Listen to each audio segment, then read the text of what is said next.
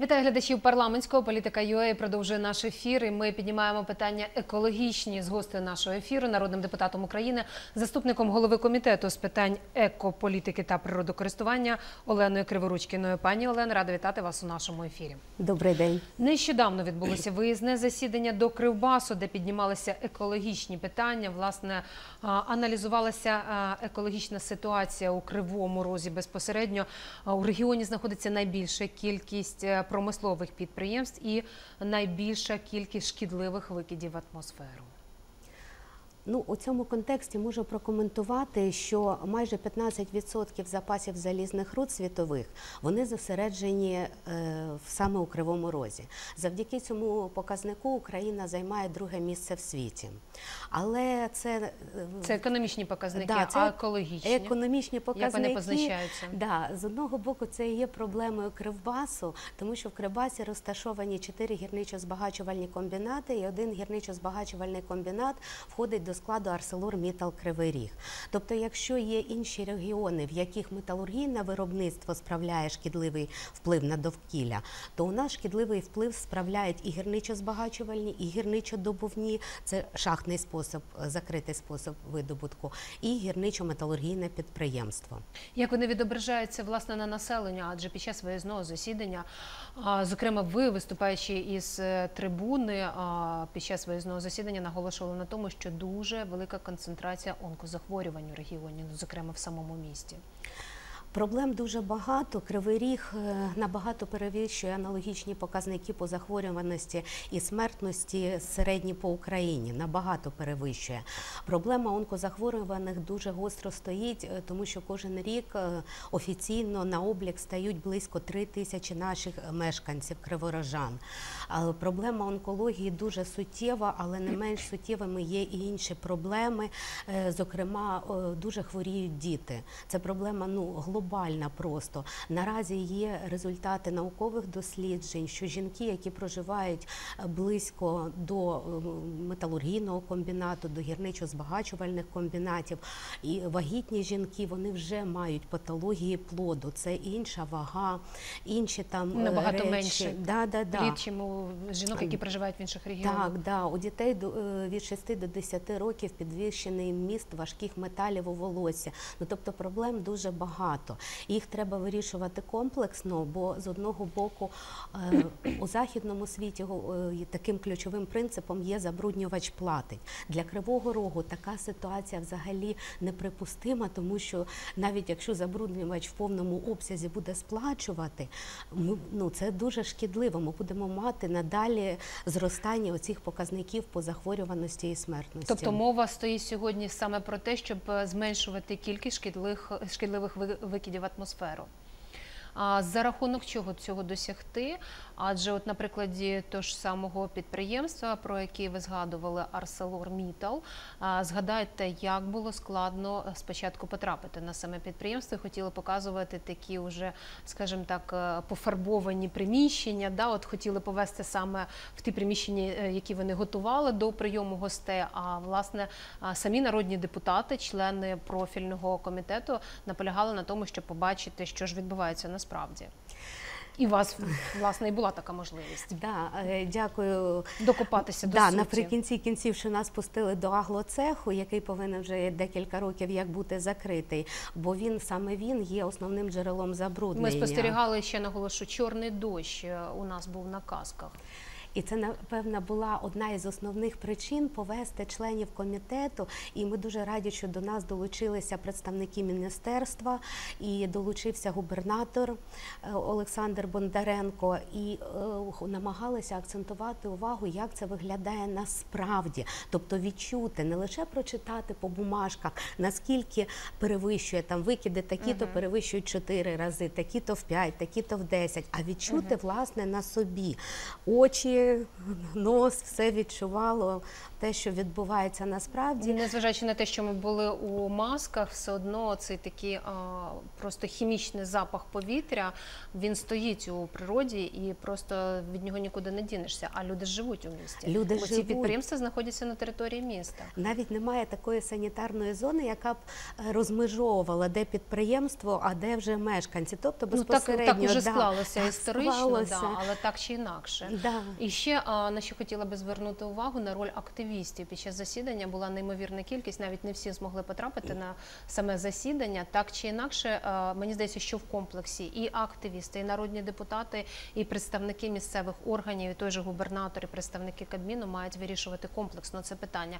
А що стосується комплексного питання, навіть е, на сьогодні немає незалежного якісного е, органу державної інспекції, яка би могла би проводити перевірки на тих чи інших підприємствах. Не завжди навіть і пускають ту чи іншу перевірку, щоб власне подивитися, чи відповідають викиди в- тому відповідності е, зазначеному власне об'єму, який викидається на цьому підприємстві. От ви актуалізували дуже значну проблему. По-перше, Державна екологічна інспекція наразі у стані реформування, і ми сподіваємося, що вона буде працювати ефективно. Але для того, щоб вона працювала ефективно, необхідне і законодавче підґрунтя відповідне, тому що наразі не пустили екологічного інспектора. Підприємство заплатило 765 гривень.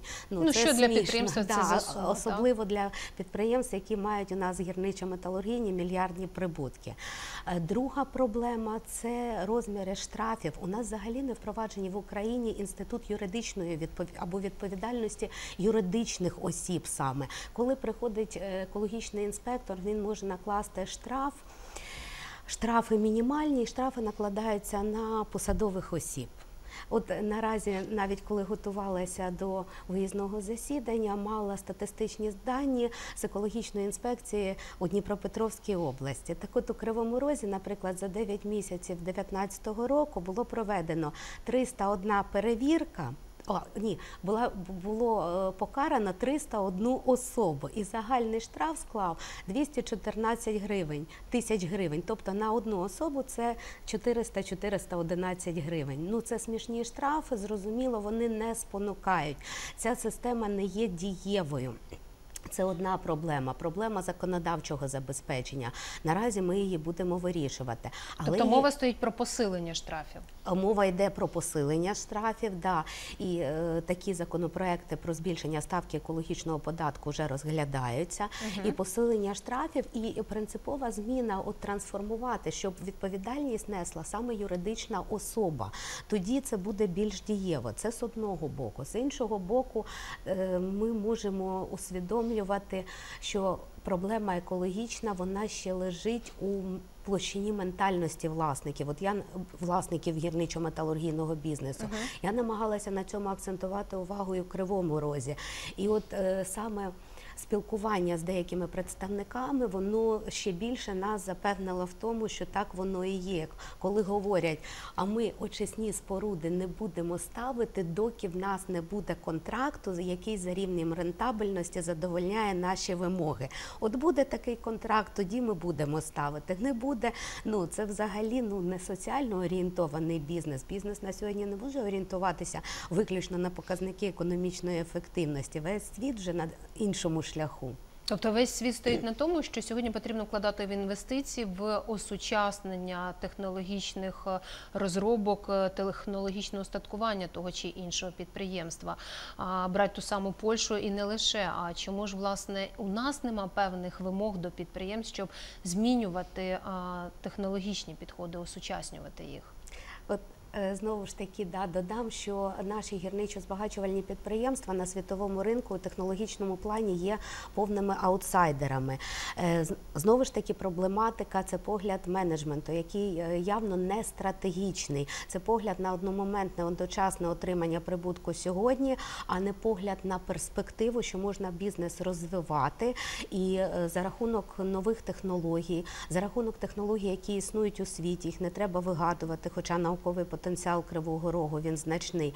Ми б могли мати значне поліпшення е, екологічного стану, і одночасно б досягалися і економічні показники, і було б зменшення навантаження на природне середовище. Однак такого не відбувається. І знову ArcelorMittal – це компанія інтернаціональна, комбінати якої розташовані в різних країнах світу. Але Якщо порівнювати з європейськими країнами, там Навіть- зовсім інші підходи. пані Там зовсім інші підходи. Навіть на Фейсбуці була було фото нашого ArcelorMittal і фото ArcelorMittal, да, яке у Європі. Але навіть не європейські країни з високим рівнем життя якості, навіть пострадянські країни у Казахстані зовсім інша справа, де теж розташований комбінат ArcelorMittal. Відповідно, ми не створили. Ми це я вже називаю всі прошарки і населення, і владу, і минулу, і теперішню. Ми до цього часу не створили умови, які спонукають підприємців екологічно відповідально діяти. Ці умови мають бути певні заохочувальну мету нести, чи все ж таки більше штрафні санкції? Які умови мають бути створені, щоб е, зменшити суттєво шкідливі викиди? Ви знаєте, заохочувальні, да. Якщо брати взагалі от такі мотиваційні механізми, вони повинні брати і штрафні санкції, і заохочувальні. Але наразі для себе я ще не бачу ніяких заохочувальних Ну, механізмів. От, наприклад, е, самі представники на підприємстві ArcelorMittal наголошували на тому, що частину податку залишати на підприємстві за рахунок е, цих грошей, власне, вкладати їх в оновлення, осучаснення технологічного виробництва. Але проблема в тому, що дуже важко відслідкувати, і те, що вкладається, те, що інвестується у бізнес, це не завжди нам може декларуватися це як екологічні вкладення, а насправді це можуть бути вкладення, це дуже складно відслідкувати. Мгм. Власне, і складно сьогодні відслідкувати а, кількість шкідливих викидів в атмосфері, адже наскільки я розумію, на сьогодні нема незалежного аудитора, який би відслідковував кількість шкідливих викидів на тому чи іншому підприємстві. І навіть робоча група у Верховній Раді вже за результатами виїзного засідання створена. Ви її очолили, і вона і має напрацювати питання, що стосується електронних автоматичних датчиків системи контролю викидів забруднюючих речовин. Саме так, тому що ми маємо статистичну інформацію про суттєве перевищення викидів забруднюючих речовин в атмосферу, але бути впевненими в тому, що це дійсно так, а не набагато гірше, ми не можемо. Реально в Україні сьогодні відсутня система моніторингу як, якості атмосферного повітря, Е, не лише моніторингу, а трансляції цієї інформації для мешканців усіх там міст, да, регіонів. Тобто наші співгромадяни не мають уявин, в якому вони середовищі живуть. Тобто доступ до цієї інформації в нас суттєво обмежений. І цю проблему ми повинні теж вирішувати. За рахунок е, встановлення автоматичних датчиків, наскільки я розумію, якщо вони будуть встановлені на тому чи іншому підприємстві, автоматична інформація буде потрапляти в інтернет. е, в Так, вона буде загально і відомою. Відкрита абсолютно, абсолютно доступна. відкрита. Да. До речі, проблема, от якщо дозволите, буквально пару слів. Проблема от е, цієї інформаційної відкритості і прозорості, вона теж повинна підніматися в аспекті екологічних питань. Бо у кривому розі навіть от була ситуація, коли витрачені кошти громади на науковий звіт зі стану атмосферного повітря. І це було е, рік тому. На початку лютого просили оприлюднити цей звіт, піднімали на е, у міськвиконкомі це питання, але на досі е, звіт не оприлюднено. Тобто доступу до інформації немає. Угу. А наскільки швидко може розпочатися відповідна робота по встановленню а, таких моніторів, датчиків? Адже наскільки я розумію, на сьогодні напрацьовує робоча група відповідне законодавство для того, щоб розпочати а, роботу на належному рівні, потрібне законодавче підґрунтя, наскільки я розумію. Наскільки швидко можна буде втілити у життя цей процес? Ми будемо намагатися рухатися якомога швидше. Е, Річ у тому, що в нас є е, безперечний ресурс, це людський ресурс. До складу робочої групи війшли науковці, які серйозно займаються цією проблематикою, громадські активісти, які теж розуміються, е, члени нашого комітету. Ми долучаємо і членів інших комітетів. Тобто така різно, різноспрямованість от і поглядів. Урядів є і технічні спеціалісти, є суто екологи, є технічні спеціалісти, які допоможуть. Тому ми будемо сподіватися. Наразі я вам не можу озвучити цю дату точно, да, коли буде, і, але ми намагатимемося рухатися стрімкими темпами. от, власне фінансування яким чином буде вирішуватися за рахунок підприємства, чи буде уряд додатково із бюджету виділяти гроші на встановлення таких датчиків? Бо мова йде не лише на прикладі ArcelorMittal, наскільки я розумію, на всіх підприємствах українських Так, вітчизняних, да. І крім того, датчики повинні стояти не лише на підприємствах, вони повинні розташовані бути і по містах, да, у спеціально відведених місцях. Стосовно от проблематики фінансування, знову ж таки, треба радитися із членами бюджетного комітету, треба радитися із представниками уряду, який механізм фінансування цих робіт буде закладений з одного боку, щоб він і не створював е, суттєве додаткове навантаження на бюджет, з іншого боку, щоб не став тягарем для невеликих підприємств. Тобто, це буде цей механізм буде ще узгоджуватися. угу. За результатами виїзного засідання, чи була ухвалена певна резолюція, адже про робочу групу ми вже згадали. Так, була укладена певна резолюція стосовно, от, е, зокрема, Кабінету міністрів рекомендовано розробити державну програму оздоровлення Криворізького регіону. І коли ми говорили Тобто про це навіть буде державна програма. Е, Це ми рекомендували. Мгм. Як е, зреагує кабінет міністрів, ми побачимо, але ми рекомендували. Е, ну, ситуація реально критична, і люди гинуть. Це перший індикатор, коли просто не можна вже ну. Ну просто люди, місцеві мешканці, е, я просто була на цьому виїзному засіданні. Вони доведені до відчаю. І активісти вони просто кричать. Вони звертаються до всіх інстанцій, до всіх інституцій, аби допомогли зупинити е, це питання. е, Власне, ці шкідливі викиди в атмосферу, ну принаймні значно їх знизити. І власне представники уряду пообіцяли втрутитись негайно в цю проблематику, і сам губернатор, і вирішити це питання. Навіть обіцяють на наступний рік на певний відсоток знизити е, е, шкідливі викиди в атмосферу. От, власне, за рахунок чого будете спільними зусиллями досягати які перші кроки? Ну от, е, по-перше, дивіться, я дуже рада тому, що наразі є така команда, от інтегрується да, і виконавча влада, і законодавча влада, що ми будемо йти єдиним фронтом у вирішенні цих питань. Це дуже суттєво і порозуміння, і Це вже було відчутно на прикладі цього виїзного засідання. Да, от воно напевне стало такою навіть кульмінацією, яке надало, яка надала впевненості у тому, що ми будемо вирішувати ці питання разом. Причому місцеві жителі, активісти це почули. Це було відчутно. Ми дуже хочемо залучити от до нашої співпраці і намагаємося е, так робити, щоб були долучені і громадські активісти, і науковці. Науковий потенціал у нас ще раз повторюсь у місті величезний, і не треба, от е, не треба видумувати щось зайве, тому що є розробки, які просто не впроваджуються у виробництво, які дозволять. Треба От, власне, з приводу цих розробок сьогодні потрібне фінансування, їх підтримка для того, щоб їх реалізовувати, чи просто чиясь воля, чиєсь бажання. Е, Це воля саме власників, знову ж таки, повторюсь, бізнесу. Я не да? чітко усвідомлюю, бо багато розробок є тих, які спрямовані і на зменшення собівартості, тобто ефект кумулятивний. Ми зменшуємо викиди у навколишнє середовище. Одночасно ми можемо підвищити якість е, залізорудної продукції, вміст заліза. Ми можемо і знизити собівартість, тобто такі технології існують. Такі Чому- комплексні підходи. Да, чому абсолютне нехтування і небажання інвестувати, воно не зрозуміле для мене, тому що перспективність запасів залізних руд в Крибасі вистачить ще на не, не на один десяток років. Але чомусь, от ну я вже казала, одномоментне отримання прибутку, ніякої стратегічної перспективи. Багато скільки вже десятків років говорять про комплексне використання сировини у кривому розі або відвали. От ми говоримо зараз про повітря і зорієнтувалися на повітрі. Це проблема дуже значна, але не менш значною проблемою є те, що під нами 6 5-6 мільярдів кубометрів пустоти внаслідок гірничих виробок. І вже І що з цим робити? і що з цим робити?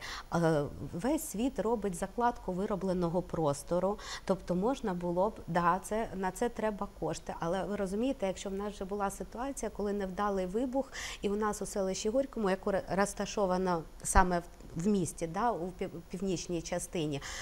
16 гектарів землі, по-моєму, 16, просто пішло е, під землю за декілька хвилин, за декілька. Але там ніхто не постраждав. Така ситуація може виникнути будь-де. В центральному міському районі просто є провали у нас, земля йде. Це вже проблема, наскільки екологічна, це вже проблема техногенної катастрофи. І для цього треба ну, от, акцентувати увагу. Ті відвали, які зараз давлять на землю, земля просідає. Е, Кривий ріг має таку геологічну будову специфічну, що там багато розломів. По цих розломах надходять солоні шахтні води. Якщо просідає більше поверхня, депресійна воронка утворюється, і цих вод взагалі дуже багато. І При видобутку залізної руди вони відкачуються. А далі що? А далі їх скидають в річку Інгулець. Це також на законодавчому рівні потрібно вирішувати ці е, питання техногенного характеру. Е, Безперечно, ну це вже така проблема глобальна. Її не можна вирішити навіть на регіональному рівні. Це вже треба і на законодавчому, і на державному рівні однозначно. Я сподіваюся, що ми не раз будемо ці питання піднімати у нашій парламентській студії. Запрошуємо вас до розмови вже наступного разу. Піднімемо питання техногенної катастрофи Кривбасу. Ну і разі хотіла би завершити наш ефір тим, що буквально днями мають відбутися парламентські слухання. Хочеться сподіватися, що ці питання, зокрема, будуть звучати під час парламентських слухань, що відбудуться у Верховній Раді. Вам дякую за цікаву розмову. Олена Криворучкіна, народний депутат України, заступник голови комітету з питань екополітики та природокористування, була гостею нашого ефіру. Дякую вам, глядачі, що ви були разом з нами. Залишайтеся на парламентському. І нехай екологічне питання залишаються актуальними до сьогодення, адже активісти і всі ми разом суспільство маємо їх вирішувати, втрутитися в цю проблематику для того, щоб зберегти наше повітря, нашу природу і нашу екосистему. Дякую, що були з нами.